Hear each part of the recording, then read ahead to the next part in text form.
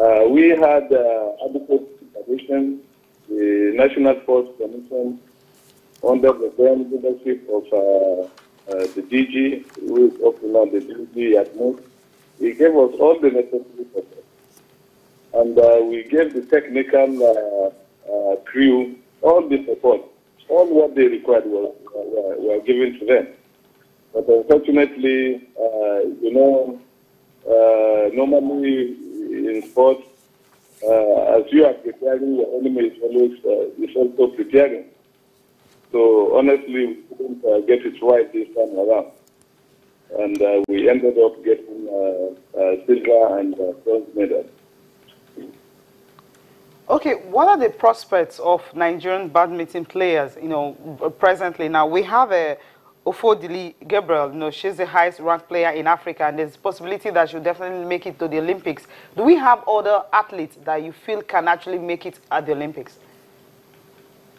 Yes, actually, that is uh, the attention of the federation now, because uh, the experience in Brazzaville has uh, now widened our eyes.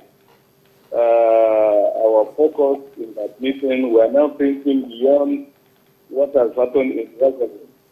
Uh, actually, uh, what the board is doing now, uh, we have gone back to the drawing board and uh, we are now looking at uh, how we will start uh, making impact right from the grassroots to the national level.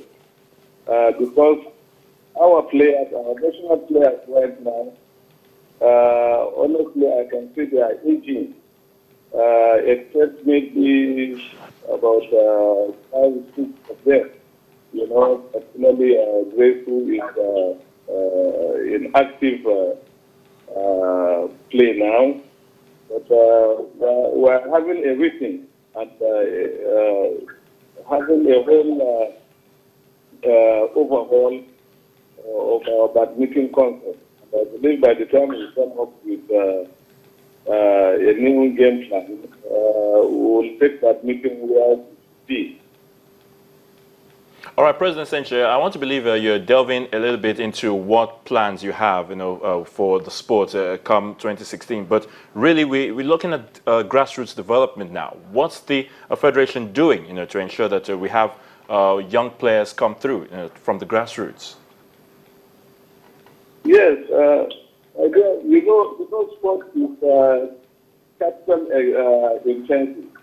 You know, the federation uh, needs support uh, from uh, private sector, but unfortunately, these things are not forthcoming. And you know, the National Sports Commission cannot do it alone. But what we are doing is on uh, the game plan that we have at the zonal uh, level. So we are trying to see how our zonal representatives will start organizing uh, zonal competition. And uh, you see, another thing is that uh, just what is happening in that this is happening in all other sports. The decline in uh, sporting activity, because even the local government, the state level, are not involved now. Yeah, they are not really involved. So if these people can be involved as it used to be, you know, uh, you, you will see Nigeria taking its rightful place uh, in, in, in, sports. But right now, everything, whether at the local level, at the state level, nothing is happening. You know, so if we don't go back to uh, to grassroots, then definitely we will continue having a problem. The federation is more concerned with activities at the national and international, you know, and uh, we have been doing pretty good in, in, in, those levels. But our main problem is activities at the grassroots, you know. But we are trying to see what, what, what we are going to do in 2016. Because that is actually our focus this time around. Okay. Thank you so much, President of Nigeria Badminton Federation. Thank you for talking to us on the show. Okay, that's it. Um, I like to talk about grassroots because um, A time will come, we will no longer be talking about Ofodili. A time will come, we'll no more talking about Jim Kambulus. We need to go back to the schools, go back to uh, the streets. There are talents everywhere and see ways we can actually develop new talents. That's right, that's right. And the earlier we start doing that, the better. Because um, from what he said, yes, they're going to be looking at that, but for now, it appears, you know, the national and international uh, levels is where they're uh, more concerned. But Yeah. we cannot deny the power of the grassroots right. development. So whatever they need to do, they need to start doing it right Yeah, now, as quickly as possible. Mm. Because grassroots is supposed to be an all-round development all through the year. You don't To have a say it again. specific time for it. Mm. So when you're not preparing for the Olympics and all African Games and major tournaments like that, then you now shift the focus on. But the grassroots should always be there. Mm. If possible, we can actually have a department for it. I right. mean, like what Nigerian Football Federation tried to do, they have a department for various, you know, different tournaments and Yeah. all that. So if you're going to have been having a grassroots and you don't want it to suffer, then you can just have a committee, you know, set up to actually look into it, so that when you know you're now focusing on the international,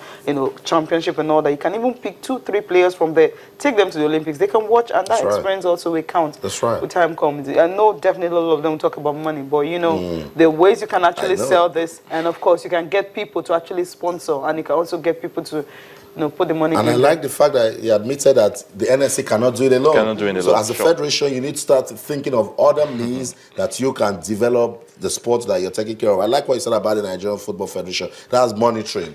They looked at what we're doing at the Channels Channels National Kids Cup. They They said, partner. yeah, we're going to come. Because they know now that you're not going to tell them fund it. Yeah. But they are monitoring, they're seeing the quality in it, so they can now say, oh, from this channel skill, can pick a pool of players into the national, National on oh, the under 17, on the on the- on the 13, 13, on the yeah. 15, 15 and and even under 17, 17, if yeah, that's possible. right. That's what I think the BFN should also, Also do. do. Look at competitions for badminton because the truth of the matter Yes. is from 2016, when federations don't actually have the direction of where to go, you go nowhere. Because I mean, I mean, I'm, I'm looking at the Olympics. I'm so so scared because I don't know how many sports we're going to have in there. I think it's going to be very few hmm. because most of them are complaining about not having money, not having the funds to It's do anything they want to do and all that.